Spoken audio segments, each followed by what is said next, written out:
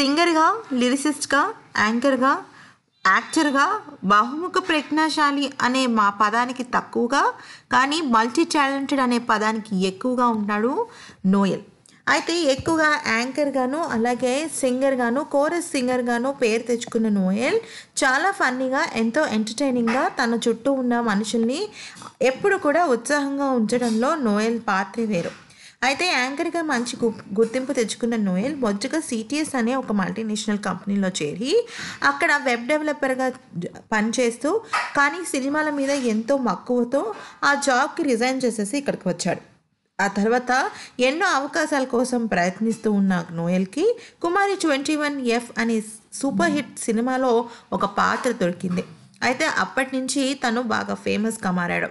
అయితే కీరవాణి దగ్గర ఎక్కువగా అసిస్టెంట్గా చేస్తూ లిరిసిస్ట్గా ఎన్నో రకాలుగా తను తన ఒక మా టాలెంట్స్ని బయట పెడుతూ ఆ నోట ఈ నోట పెడుతూ అందరి ప్రముఖుల్లో తల్లో నాలికగా మారాడు నోయల్.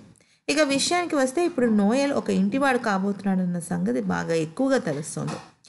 తేజ దర్శకత్వంలో వచ్చిన వెయ్యి అబద్ధాలు అనే సినిమాలో సినిమాతో పరిచయమైన ఈస్టర్ నరోహన్హ ఈ సినిమా ఈ సినిమాలో నటించింది. అయితే ఆ తర్వాత భీమవరం బుల్లోడు జయజానకి నాయక లాంటి సినిమాల్లో కూడా నటించిన ఈ అమ్మాయికి తెలుగులో పెద్దగా అవకాశాలు రాలేదు.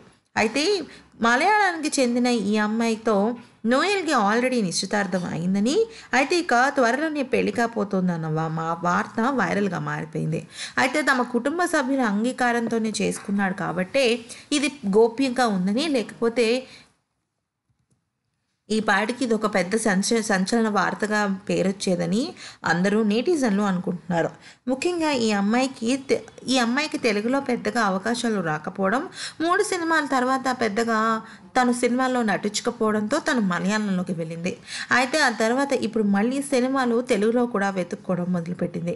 ఇప్పటికే రెండు పెద్ద పెద్ద సినిమాల్లో సపోర్టింగ్ క్యారెక్టర్గా చేస్తున్న ఈస్టర్ని నా నాయల్ పల్ నోయల్ పెళ్ళి చేసుకోబోతున్నాడన్న వార్త ఇప్పుడు బాగా ప్రచారంలోకి వచ్చింది. నిజంగా వీడిద్దరూ కనుక ఒకటైతే చాలా చూడముచ్చటగా ఉంటుంది అని అంటున్నారు విన్న వాళ్ళందరూ. మరి మీరేమనుకుంటున్నారో కామెంట్స్ రూపంలో తెలియచేయండి.